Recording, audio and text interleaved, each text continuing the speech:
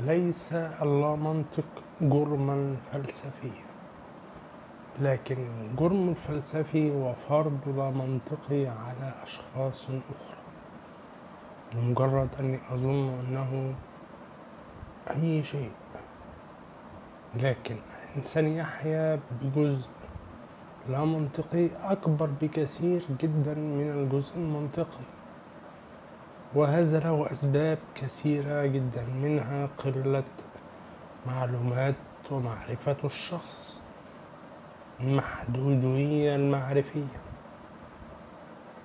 هو يعتمد على إيمانات كثيرة لكن هناك أنواع إيمانات تغلب الكثير من الأفكار وتحاول أن تغلب أشخاص أخرى وحريات أخرى. لذلك أنا أحتفظ بالجزء اللامنطقي الذي بداخلي لنفسي فقط. أكتبه في الشعر وأكتبه في هاجسي أكتبه على الحوائط أيا كان. ليست هذه هي المشكلة. هو الشكل اللامنطقي الذي لا يمكن أن أضر به أحدا. الحد هو حريات الآخرين.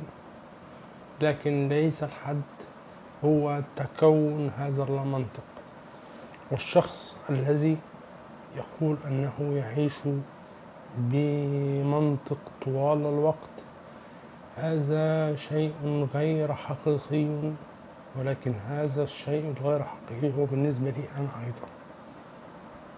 لذلك لا لأني ليس لدي مطلق ما. هناك محدودية بسبب اللغة. هناك محدودية بسبب التحصيل ذات نفسه تحصيل العقلي هناك محدودية بسبب العمر. هناك محدودية بسبب أشياء كثيرة جدا. فخناقة اللامنطقيات الخناقة على هل ستفرضه علي وهل ستحاول أن تفرضه علي. لكن ليس على اللامنطق هذا نفسه إلا إن كان به ما يحاول أن يتطاول خارجه.